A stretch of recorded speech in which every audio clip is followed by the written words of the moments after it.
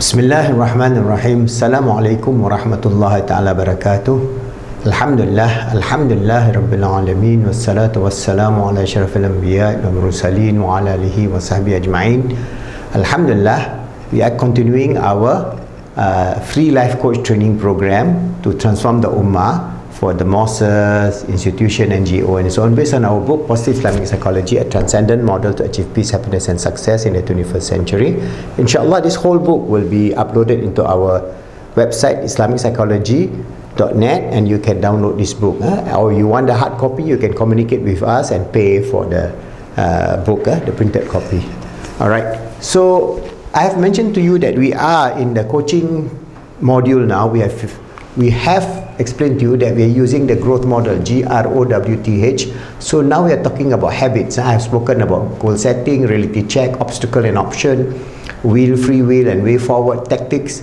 Alright then now we are talking about habits and this is taking uh, a lot of detail in terms of the nature of understanding of Islamic psychology yeah? because it's very important for you to be able to differentiate between circular psychology and Islamic psychology. Alright so I'm going to give you an analogy uh, where we have explained to you of the four levels of awareness in terms of what uh, Imam Ghazali and all the great scholars 1000 years ago has already defined and now science in terms of uh, neuroscience is coming close to understanding that our brain is just uh, only just a, a tool only yeah? but our consciousness reside not only within the brain but supra conscious at another level Alright, so I have given you this model in which our nerves are the four levels of the chain of our existence insofar as we are on this earth. The jasad, the physical, the mind, the akal, the qalb, the heart and the roh, they are all influencing the self, the nerves. So this is interchangeable, alright, and how we're going to understand this is we can understand this from the perspective of what I call the SEMP iceberg a spiritual, emotional, mental and physical iceberg. So if you look at an iceberg, you know, in the middle of the ocean, you can see the 80% is hidden, non-visible, and only 20% is visible. So it's 80-20 rule, all right? So within ourselves, we have the visible, uh, the physical self in terms of the conscious self. The conscious selves is visible. This is where we see the outward behavior, whether you have ADHD, whether you have anxiety, whether you got OCD, whether you got depression, whether you got the whole spectrum of uh, psychological uh, challenges.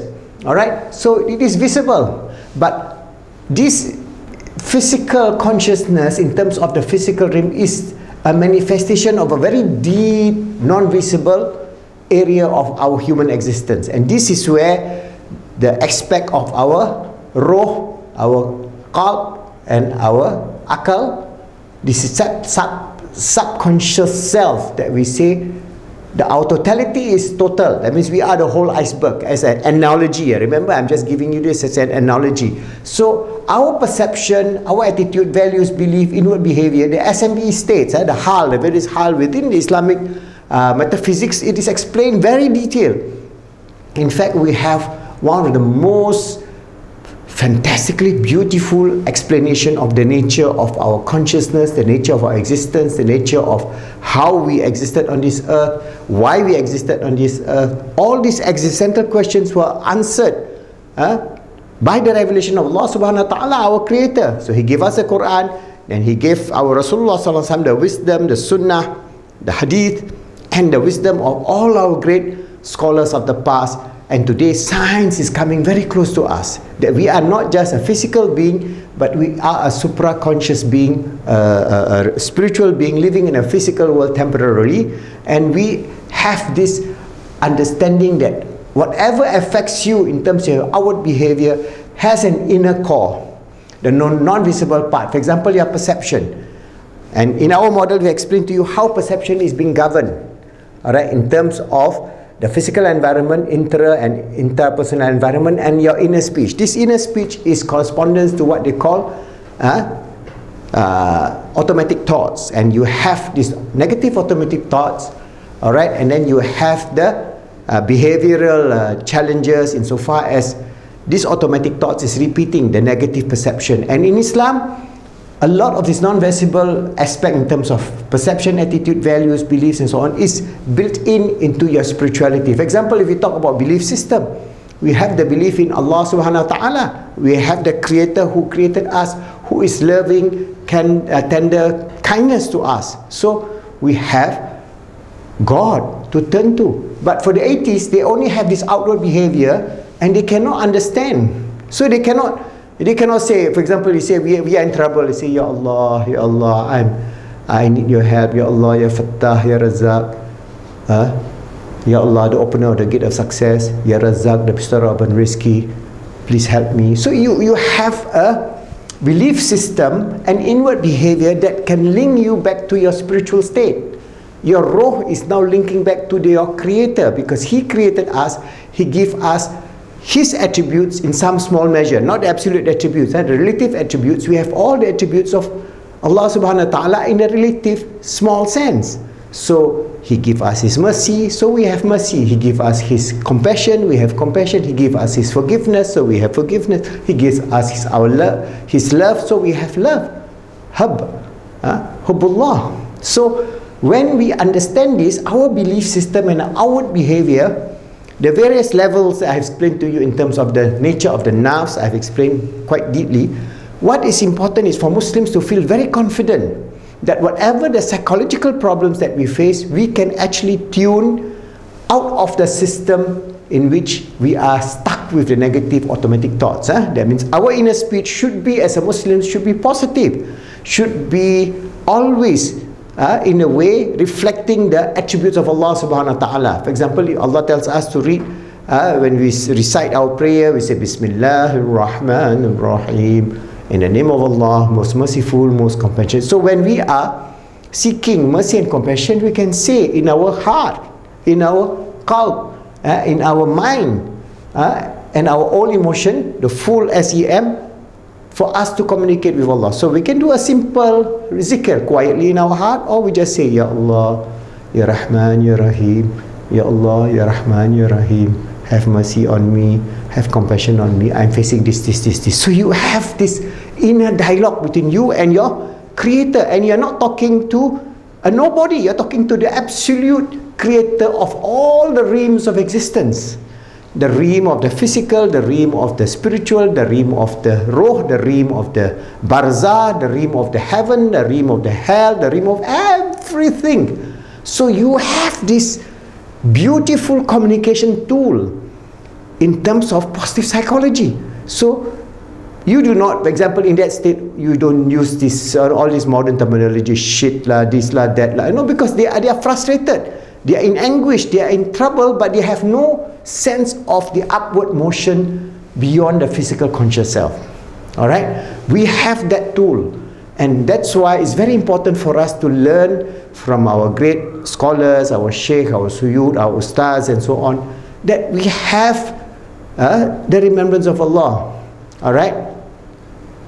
Uh, for Muslims, uh, we have Allah tells us in the Quranul Karim, وَالَّذِينَ آمَنُوا تَطْمَئِنَّ قُلُوبُ ala bi uh, ala bizikrillah tatma'innal qulub ala bizikrillah in only when you have this remembrance of Allah you have this peace and tranquility of the heart all right so that communication must be something that we can work as a tool towards having a balance.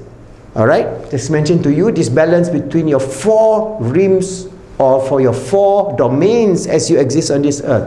We take care of our physical jasad, our, our physical body and wellness. We take care of our akal in terms of the positive inner speech. We take care of our heart in terms of our love, mercy and compassion. And we take care of our role in terms of ibadah and linkages to Allah subhanahu wa ta'ala. Alright, so when you understand this, we can use our Islamic value systems and uh, uh, believe first, then the values that we are going to inculcate in ourselves, our children, our family, our community. Then we develop an, a positive attitude. That's why we must have positive Islamic psychology, not negative Islamic psychology of, for example, sectarianism. That is negative. Of suicide bombing. That is negative of cursing and swearing. That's negative. So we have these positive values of, especially in 21st century, where we Muslims will have to live with the seven, we are about 1.7 billion Muslims, Alhamdulillah, throughout the world, we have to live with more than 7 billion people. So majority are not Muslims. They could be atheists, could be uh, Christian, Jews, uh, Hindu, Buddhist, and so on. But we must live with them. So we must have this sense of uh, ukhwa, the brotherhood of humanity, the brotherhood, uh, this whole perception of we are linked to all humanity in terms of our love, our sharing of this earth, and our sense of living together in peace, harmony, tranquility, and so on. So that will be our attitude. And then we shape our perception so that we don't have the cognitive dissonance, we don't have the uh, uh, aberrations in terms of our, our automatic thoughts. Huh? That's why this is CBT, Cognitive Behavior Therapy, has listed about 12 of these uh, cognitive uh, dissonance. So as Muslims, we must then be able to understand that this non-visible aspect is 80% of us in terms of our existence on this earth and our physical dunya is only 20% but this whole totality in terms of our existence is to seek a balance of how we can develop a nafs that is moving towards the peace, the tranquility that Allah tells us in Al-Quran Ya ayyatuhan nafsul mutmainna irji'i ila rabbiki radiyata mardiyah ibad fatulil jannah this nafs that is journeying journeying having peace and tranquility, having the sense of purpose and meaning in life, having the joy of living on this earth, having all the goodness of this earth. Rabbana atina fid dunya hasanah. All the hasanah of this world that Allah is all halal for us as long as it's within the preview of the Sharia.